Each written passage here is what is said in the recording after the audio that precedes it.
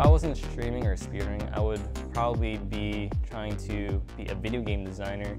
I've been making these really hard Mario levels for almost 10 years now, ever since I was 10.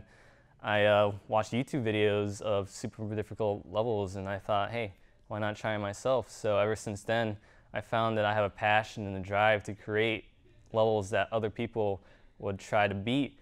And I even thought to myself that was really cool because I can make really hard levels and there actually be people that would play my stuff depending on how trolly I want to be or how difficult I want to be. There's always going to be people that enjoy my levels, which is a great, great feeling. So if I wasn't doing Twitch, I would probably continue that passion going forward, trying to create not even like a Mario game, but some some kind of video game that people would want to play, want to challenge themselves in. Hey, maybe they could speedrun it, maybe they could do it blindfolded, or maybe they could be inspired by my own creations to also keep making their own levels and levels and games.